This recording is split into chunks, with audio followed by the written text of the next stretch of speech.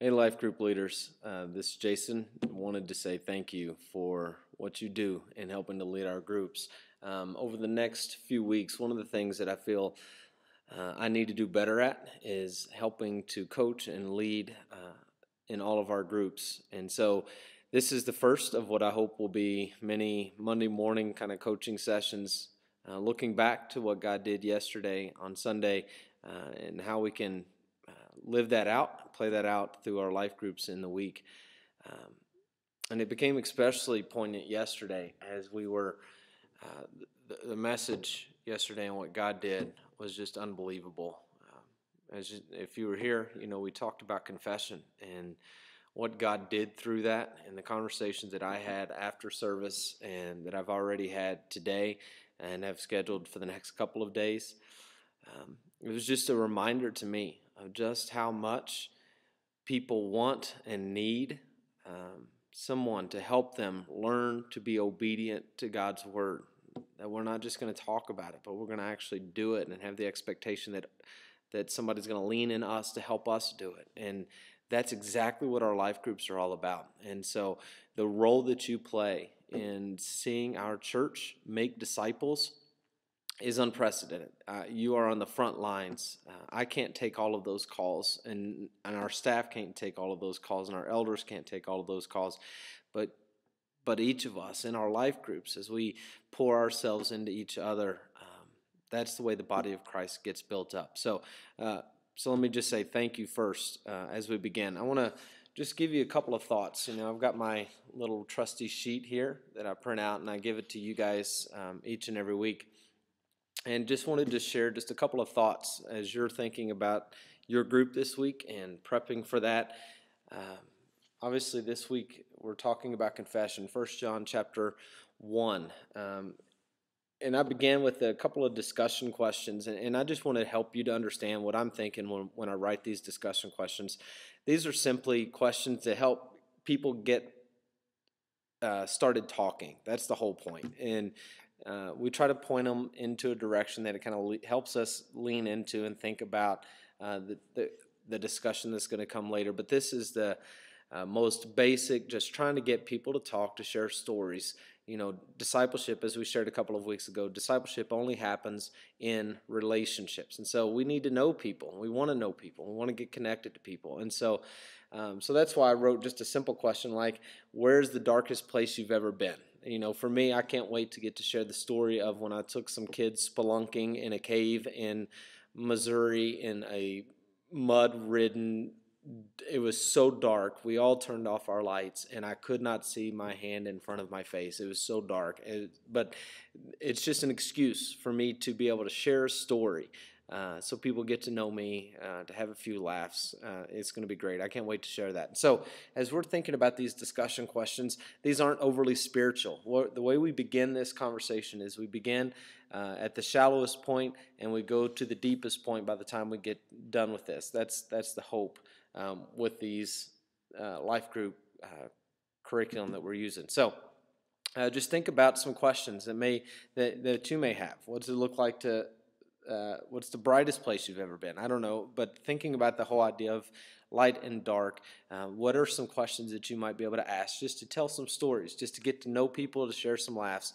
Uh, that's what the discussion questions are all about. Uh, and then obviously we go into the observation sections where we look at God's word and we observe it. We say, what does this teach us? What does it say to us?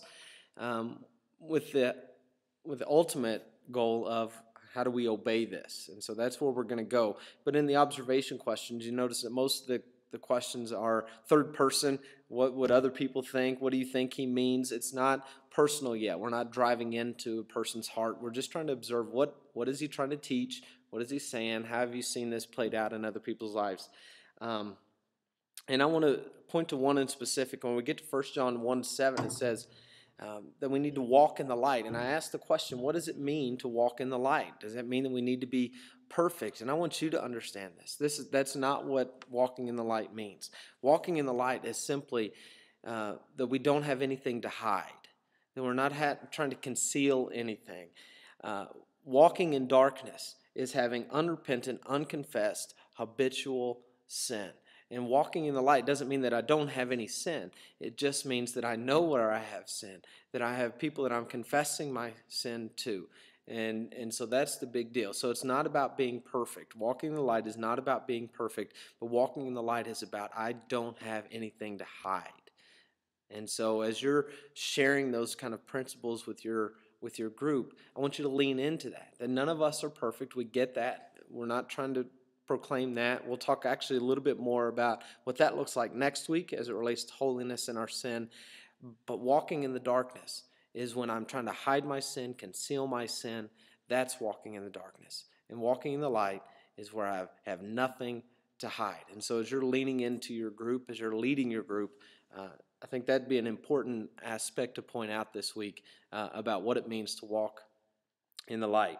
Um, and then I want to drop down to 1 John 1 9 there, where we talks about um, the way that we get out of the darkness and into the light is through our confession. And I, and I asked this question what is your gut level response when you think about confessing your sin? Because most of us, it's fear, it's anxiety. We, we tense up and we have that voice in us that tells us, don't do it, don't do it. They're going to they're gonna shame you, they're going to think less of you. And honestly, there may be people who do that, and we can't change that. But I, I want you to begin asking your group what was your response when Christy confessed her sin? I think that would be really, really important to, to ask them. As you heard Christy, for those of you who were here, as you heard Christy Chatham share her story about her own uh, sin as it related to her drinking, what was your response? How did you feel when she sat up here and in front of everyone confessed her sin and her struggle? And then how does that affect? If, if, if that's the way we thought of her when she confessed her sin, why would that not apply to me? And so I want you to lean into your group and say, what did that do for you? What did that teach you? How do you feel about her? What did you think about her when she did that? And then allow that to permeate our soul to say, if that's how we felt when she confessed hers, then why would I not think that other God fearing, Bible believing, Jesus loving people wouldn't have that same reaction when I try to confess my sin? And so I think that'd be really important um, for your group, or could be. Uh, let me drop down to the last part. The last part is application. And again, this is really, really important because uh, as we shared a few weeks ago in Matthew 28, we don't just teach for the sake of knowledge, but, but his call for us is to make disciples, teaching them to obey everything that I have commanded you. That's why we do what we do. And the people in your group, because I know your heart and your stomach is probably like mine, you're thinking, do people really want to do this? Here's what we've said as a church this is the place where we practice what we preach. When we get into these life groups, this is the place you're going to be loved for, cared for, and missed and known. These are the place where we're going to do these things. And so if you have people who are showing up to your group, there is at least part of them that has the expectation that this is where those things are going to happen. And so, as fearful it is, as uncomfortable as it may be, don't punt this most important aspect of our life groups, of where we're getting real with our lives and being honest with the people around us and living out what Jesus has called us to do in community. All of those one another passages in Scripture, we say as a church, we're going to do these in our life group. We're going to love one another, we're going to care for one another, we're going to hold each other accountable. Those things are going to happen in our groups. We say that. And those people who heard that signed up to be a part of your group. And so I'm asking you, please don't make me out to be a liar. Let's do what we say we're going to do in living out the commands of Jesus. But here's what I want to say as it relates to this idea of confession. Um, because there, I, I read a whole list yesterday of all sorts, whether it was divorce or pornography or alcohol.